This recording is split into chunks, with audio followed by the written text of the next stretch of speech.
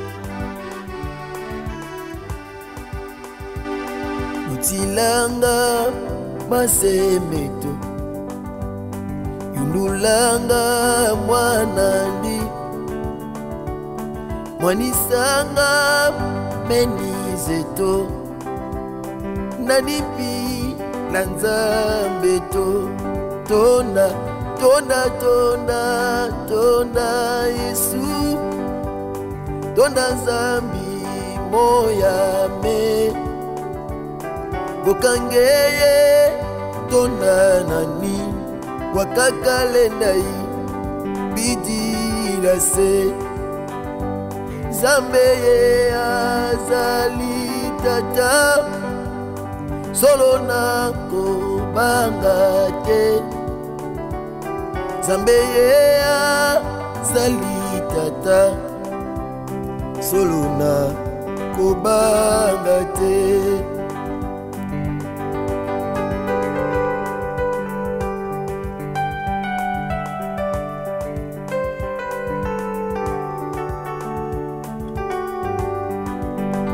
betelaki maboko yayo hey, eh, yesu kristo nazareti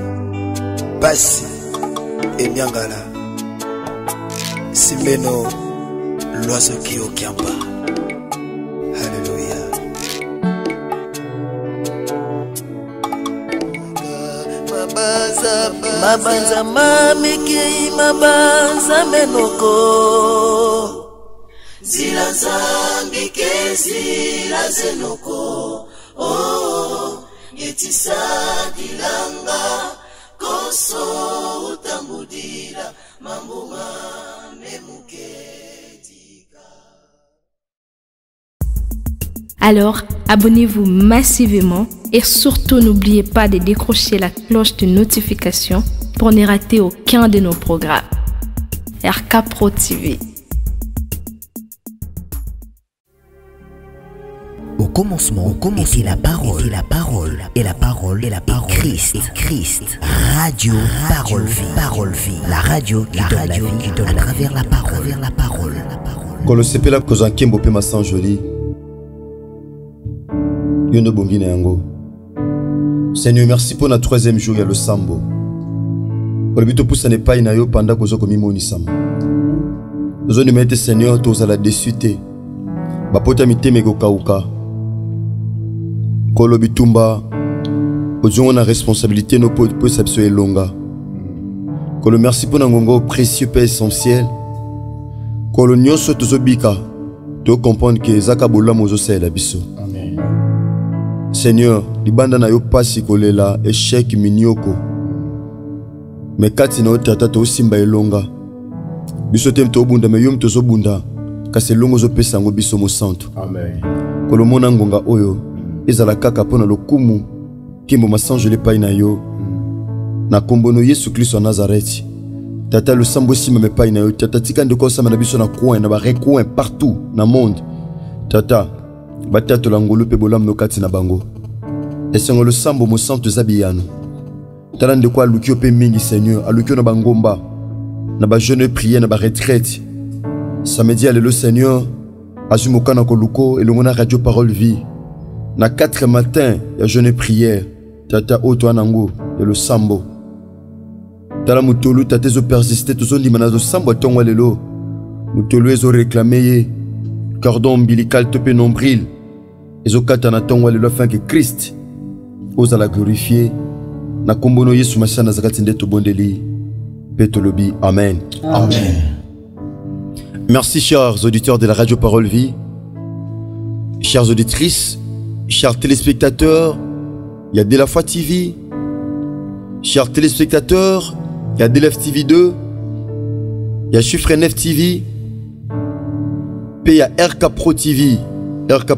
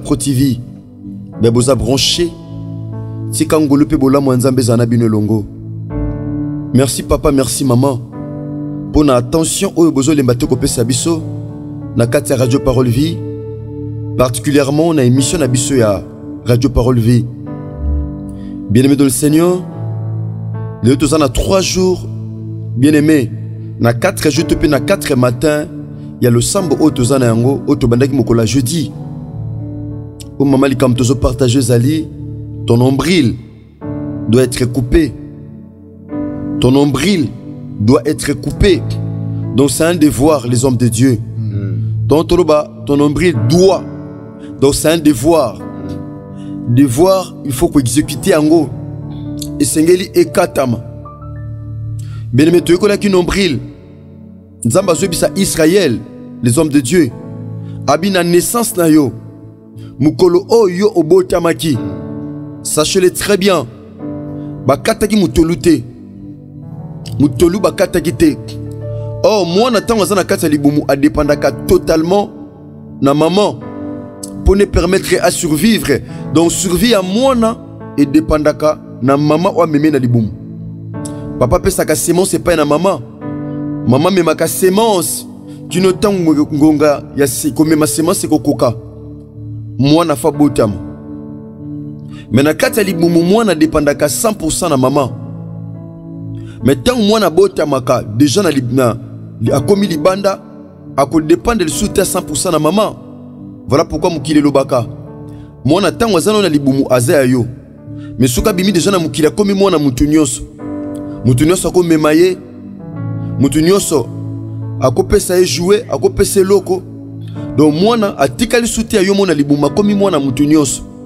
mpo mwana akoma mwana motu nyonso esengeli nombril ezala coupe mpo na motu na motu atikala na vie na ye comme, comme étant responsable ya bomoi na ye mais awa nzambe azoyebisa israel abi na naissance na yo motolu na yo ekatamaka te motolu ekatani te pourkui mpo na mwana atako sabotami me atikala na vie ya dependance ya mama oh mono bakati mutolu te moye abotama eh, mono bakati mutolu te en réalité moye akola malamu eza te moye aza na croissance ya bien eza te pourquoi parce que azo dépendre kaka na mama voilà pourquoi mwana ntango abotamaka bakataka mutolu rapidement mpo na mama atikala na ngambu na ye mwana mpe azala na ngambu na ye donc ngoloba ke mwana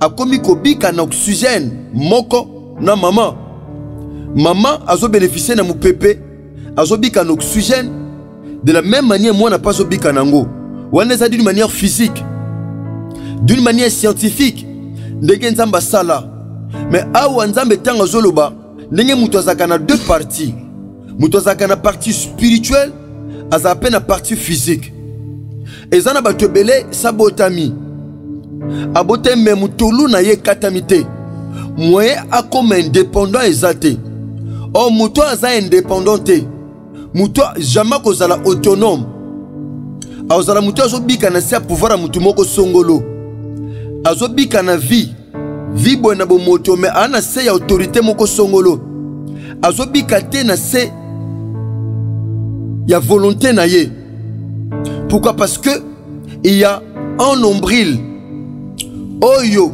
ezolie mwana na mama mais spirituellement mama akozala na famille mama spirituellement akoki mpe kozala papa akoki mpe kozala mibeko ya famille bien aimé eza na nyama moko ebimaka na nzete ya mbila basila na nzambe mm. kikakala nyama wana soki aza moko mibale misato soki otye bango awa bakokima na facilité babimi bake moto na moto ake na ngambo na ye nyama na nyama ake na ngambo na ye me soki baza ebele soki, soki baza, miba, soki baza 20 baza 15 to na nombre moko oyo eza eleve botye bango na kati ya bassin baokima te pourquoi parce que oyo azoluka kima mosusu akoya kotyele kale okende wapi tikala biso nyonso tozala moyen moko akima eza te pourquoi parce que oyo azoluka kima mosusu aotyela ekale mpo abima te mpo babika na vie ya indépendance bazala babika na vie ya dépendance mpo babika na vie ya dépendance bango nyonso bazala esika moko bazala lie Mais na ngai totanga un passage biblique ya mono héritier apusa biso yesu na présence ya nzambe chers auditeurs de la radio parole vie le eza troisième jour samedi au chiffre 3 eza chiffre ya résurrection mm. na ekolo na biso asekwaki le troisième jour écoutez ceci chers auditeurs de la radio parole vie nous sommes dans l'évangile de marc chapitre 11 tobandi na premier verset écoutez ceci lorsqu'ils approchèrent de Jérusalem et qu'ils furent auprès de Bethphagée et de Bethany vers la montagne des Oliviers, Jésus envoya deux de ses disciples en leur disant, Oh, à au village qui est devant vous. Dès que vous y serez entrés,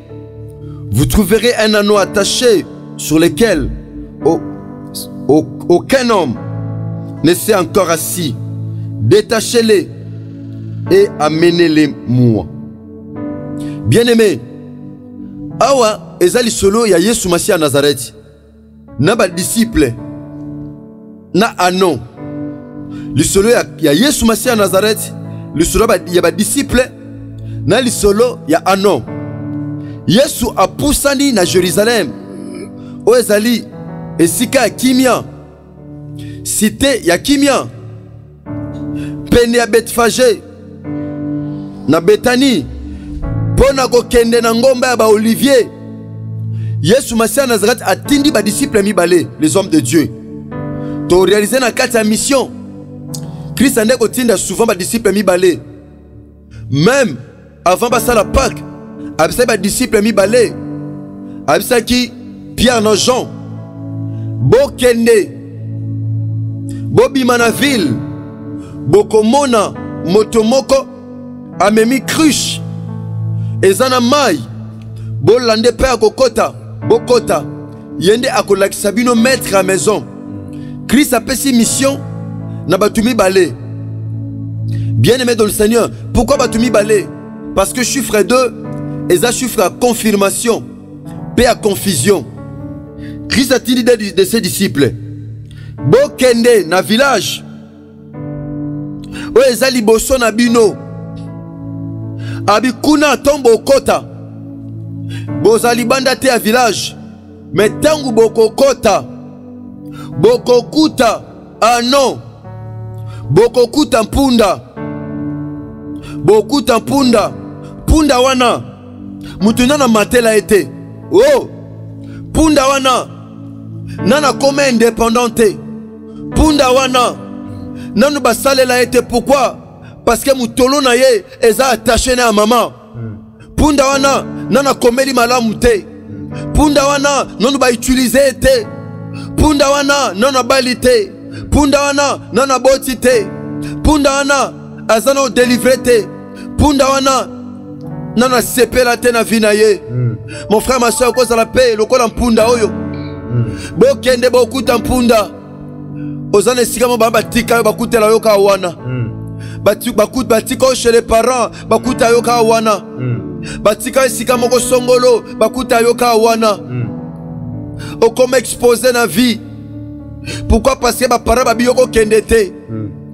babi yo nde oza bongo fo motolo ekokata mo te fo ozalaka wana atobotami mokobima te yo kofongwama te hmm. okenda mboka mo songolo pande bamosusu bazobima mboka neza mboka mo ya transit oya mpo osala transit mokoma parfois résident na mboka wana pourquoi parce que oza lokola mpunda oza ka wana abi bokute ka wana libala nde bokuta yango ka wana hmm. ekoevolue te yo oke mosika te yo ofongama te awa krist abi ntongo bokota bomona ye bomona ye pourquoi parce que aza expose eloko eza expose ebombamaka te hmm. combien de personnes aujourd'hui oyo bavie eza expose combien de personnes lelo oyo bavies expose abi bokuteka wana bokuteka wana écoutez ceci bien aimé abi mpundu yango motu na amatela ye te kristo abi detache le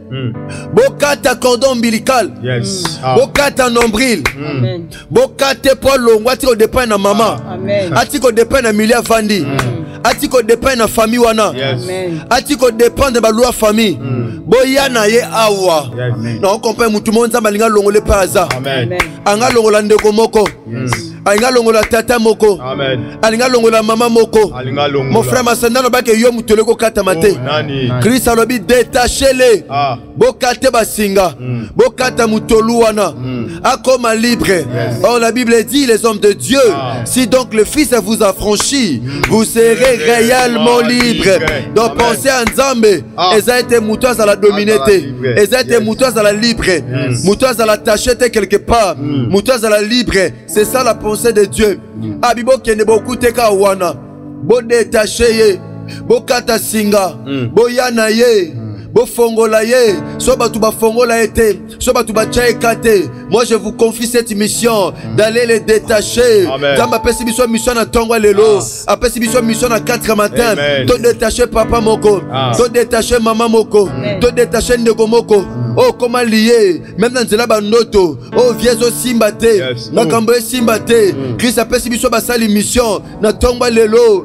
abinombrili oyo esengeli ekatama abisingo esengeli ekatama akotikala boye te liye na balwa ya famille na humiliation ya famille na kolela famille ah. na bapasi ya famille mm. abibokata basinga boyelanga ye nde totangi les hommes de dieu na mokanda na ezekiele babi na naissance na ye bapekisaki nombril no ekatama mm. mais awa christ a comprendre abi eza na bato bakopekisa mm. abi yoka bien aimé abi si quelqu'un vous dit soki motu moko atelemi koloba na bino pourquoi faites-vous cela oh mpo na nini bozokata motolo oyo hmm. mpo na nini bozokate motolo mpo na nini bozodetache ye mpo na nini bozofongola ye ah. les hommes de dieu délivrance hmm. esalema tosamba na basali na nzambe tobi yo esprit ofana na nzoto otika ye abi mpo ya nini bobengana nga ah. boyebi te ngai oyo ekoma ndako na nga boyebi te oyo aza makila na nga hmm. bobengana nga mpo nakende wapi nzoka nzambe atindi biso nzambe atindela biso po nazala na biso délivrance ekota na vie ya ndeko wana bien aimé dans le seigneur toza bainstrument oyo nzambe aza koutilize na ntongo ya lelo mpo nombril no ekatana yesu masiya nazakati alobi soki motu moko atelemi kotuna bino motuna mpo na nini boosala boye mpo na nini boosala boye aye boyebisa ye repondele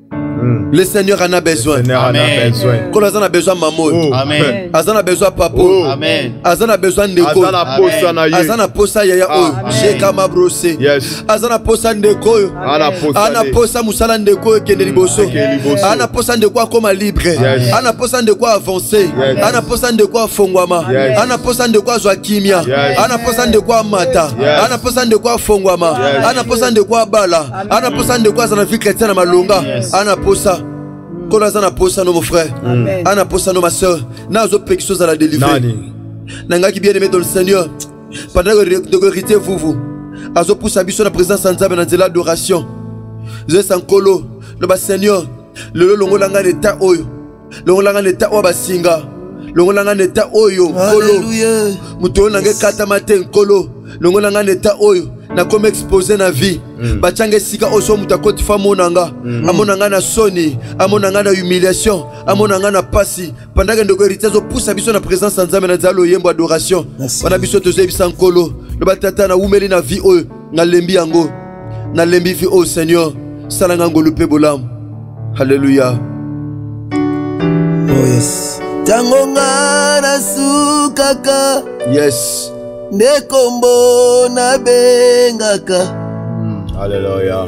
ebukaka bangomba kombo nabengaka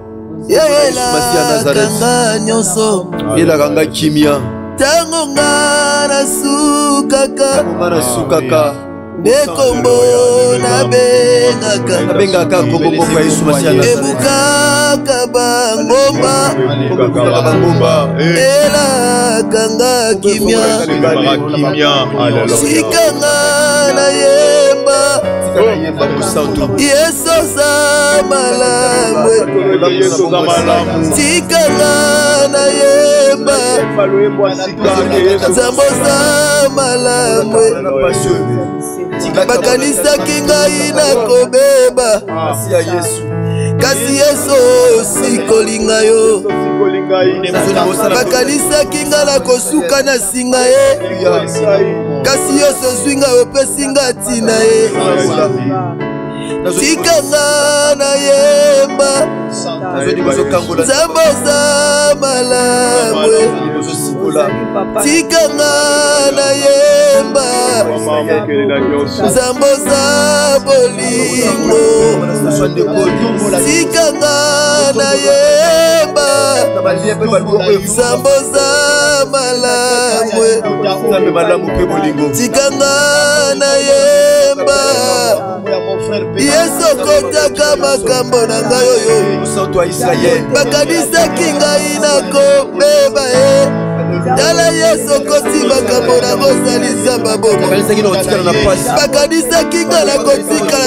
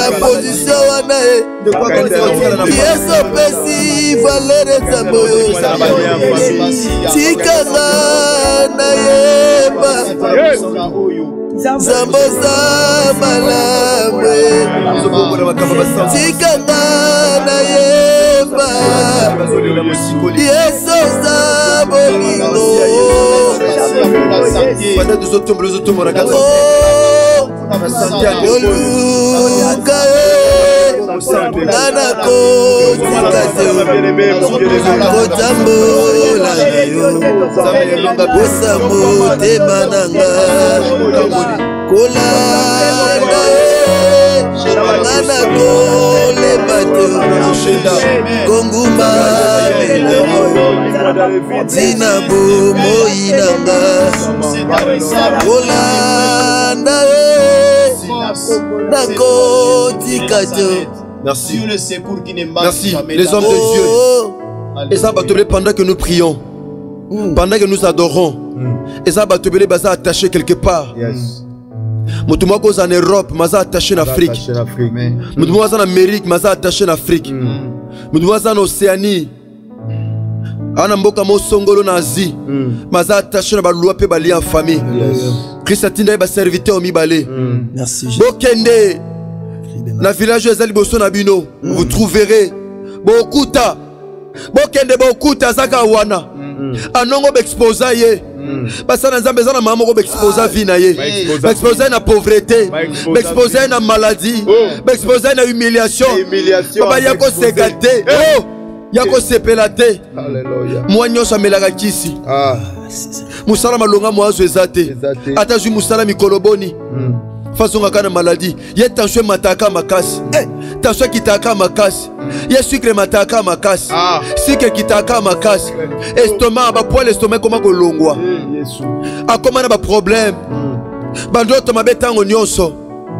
nzoto ekoma na baproblème atali miroir alobi oyo eza nga te hmm. oyo eza nga te nzoto eza nga te hmm. amitali bamédecin balobi aza bien me bana na libala bazoya te mobali akomi oloba akomi kohumilie akomi oloba nde vis à vis hmm.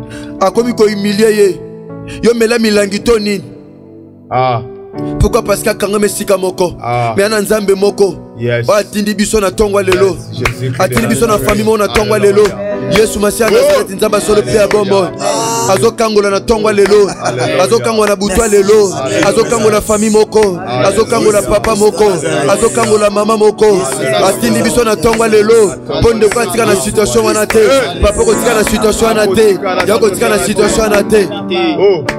soki bango basimba bakisi ezokontinue eh. mosala na nzambe bejeb la char mokesimba losabejeb la char moke char de force relève alleluya alleluya hmm. yes oh, alleluya oui l'homme de dieu na kati na exhortation toyo tozwi mwana mpunda oyo azalaki ya kokangama mm. libanda ya ville balimita ye balimite vie na ye mm.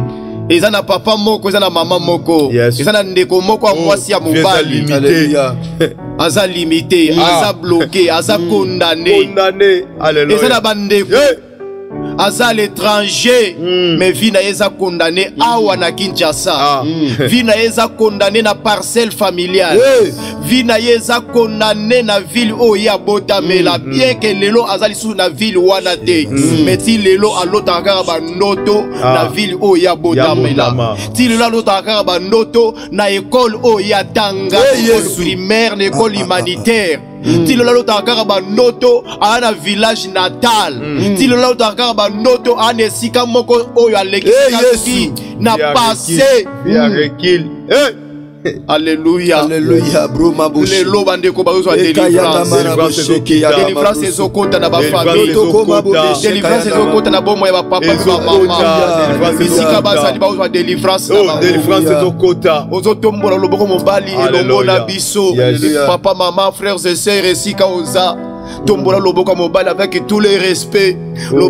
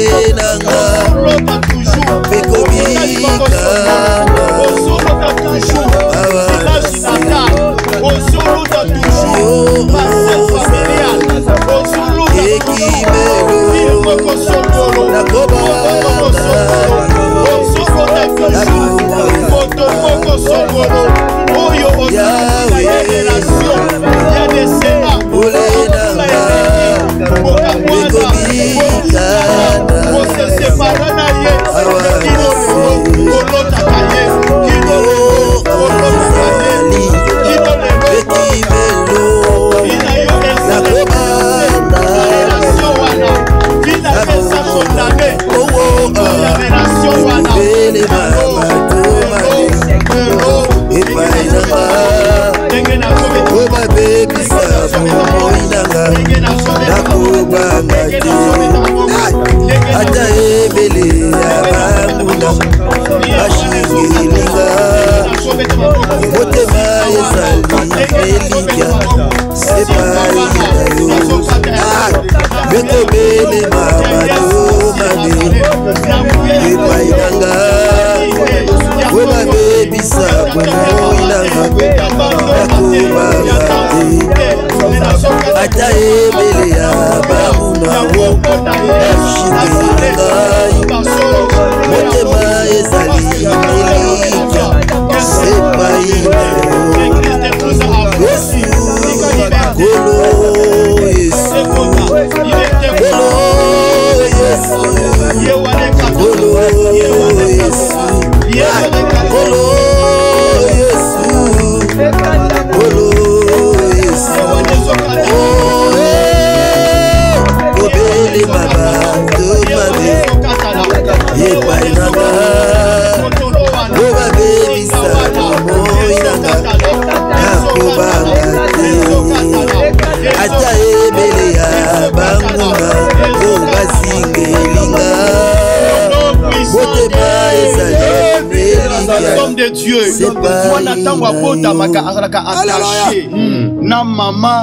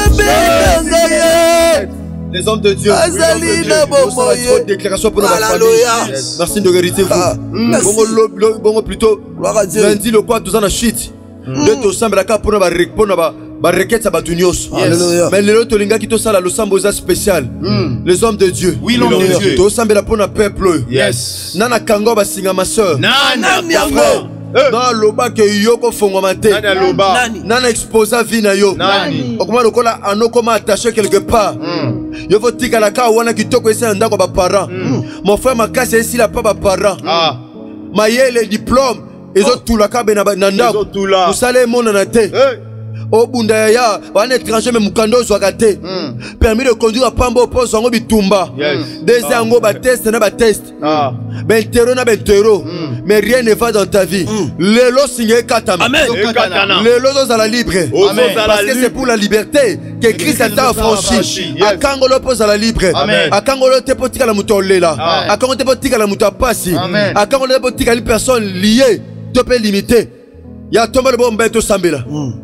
zwa main droite loba kolo esukisa nazareth lelo singo ekangakanga ezokatana ata bakanga na zamba ata na mai ata na mboka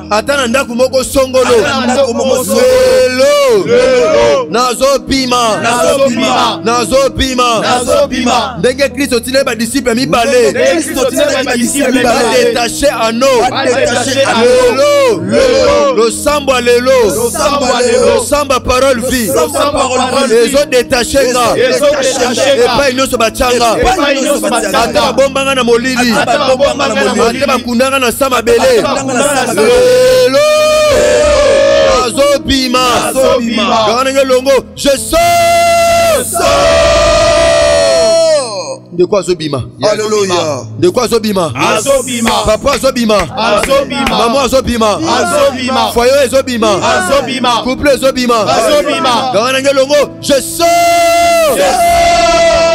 Alors, bando abima epai batya yo bando obima ma sœur bando obima na ndoto mabe bando obima na sa baloi na sa balien basingi ekatana basingi ekatana cordon ombilical ekatana lombili wana ezala coupe na ntongo lelo ale soit détaché ale soit libre soit libre soit libre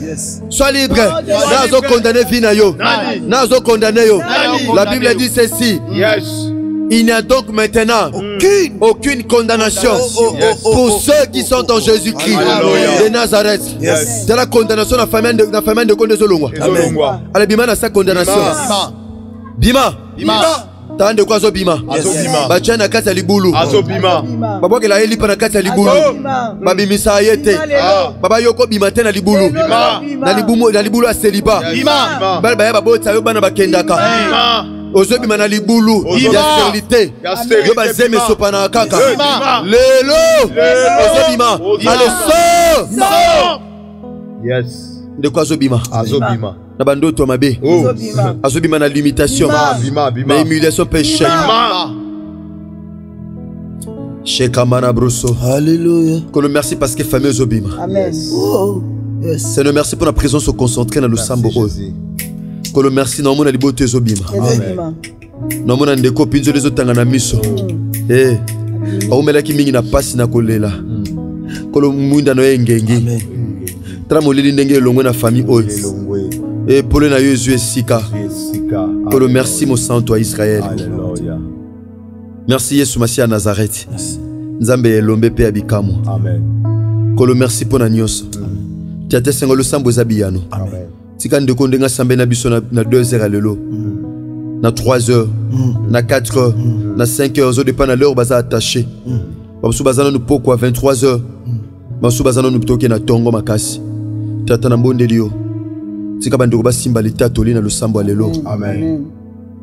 kolo merci pamba te okati banombril nyonso to bacordon ombilical oyo eliaki bavie ya bato mm. na nkombo no yesu kristo ya nazareti nzambe asolo mpe ya bomoi mm. nzambe abikamwa mpe ya elonga nde bonso na kondima lokola peple moko tobondeli mpe tolobi amen acclamons jésus-christ de nazareth acclamons le dieu divin véritable acclamons le chilo merci papa merci maman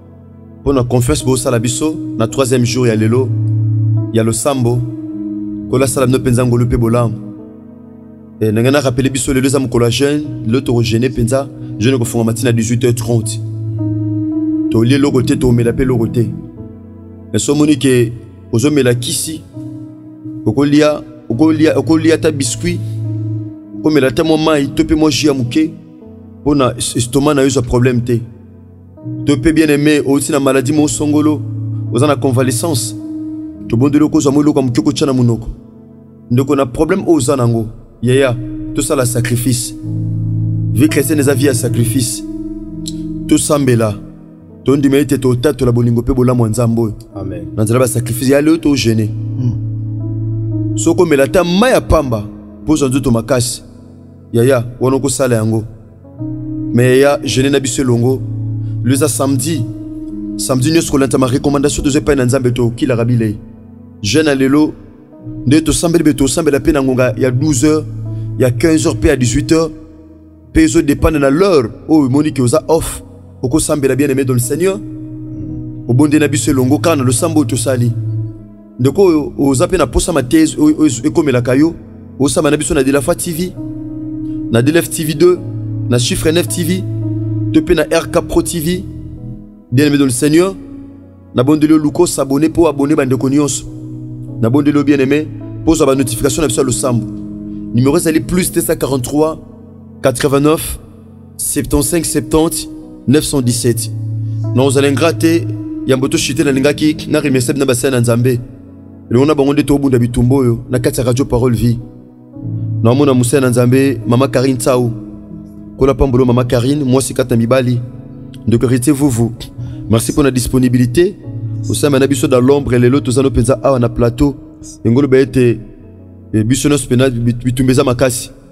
Merci Pasteur Prince Mavuba. Kola Pambolo, Berger Blanchard Moke. Merci. Kola Mona no pona sacrifice oyo. Merci ndeko nanga Jorsa Pemba Mayamona, Moussa Nzambe, l'homme de Dieu ndeko Chris Kundenga ingénieur. Kola Pambola bino basana Nzambe nyonso ndeko Nata Kifuta na De La Foi TV, na ndeko Gauthier Kele, ndeko Trésor Ntingi, ndeko Rais Kangi RK Pro TV, Rais Kangi Bulu RK Pro TV. Ndeko Bogo Sanderson, Matufwengele, elongo na Chiffre 9 TV, Kola Pambola Bino Sabno Penzango Lupe Bolam. Ndeko merci na ndenge ozo soutenir Radio Parole Vie. Merci de ozo partager ma à Radio Parole Vie. Bongo tokutani bongo lundi na chute ya programme na biso à 4 matin. Lundi to sambela ka pona ba requête. Lundi to exhorter ka mukie, to ko sambela bien aimé dans le Seigneur, to ozo temps ko sambela plus mpo na bino bandeko mpo na barequete oyo bokomeli biso soki totangi yango nanu te bien abe bamessage ezalaka mwa mingi seke nzambe aza na controle ya nyonso ata oyo totangi te toosambela mpo na bino nyonso oyo mpe tozwa ntango tanga tootanga bien aimé dans le seigneur tika kolo asala bino ngolu mpe bolamu soki krist amizongeli te tokutani bongo mokolo ya lundi na ntongo na intercession internationale ya famille na suite ya 4 matin na biso ya losambo oyo toza na yango Sinon, tika Yesu Kristo ya Nazareti Nzambe ya solo mpe ya bomoi asala bino ngolu mpe bolamu. Merci que Dieu bénisse. Au commencement, au commencement était la parole, était la parole, et la parole, et la parole, Christ, et Christ. Radio, parole, vie, parole, vie. La radio, la radio, qui donne à travers la parole, la parole, la parole.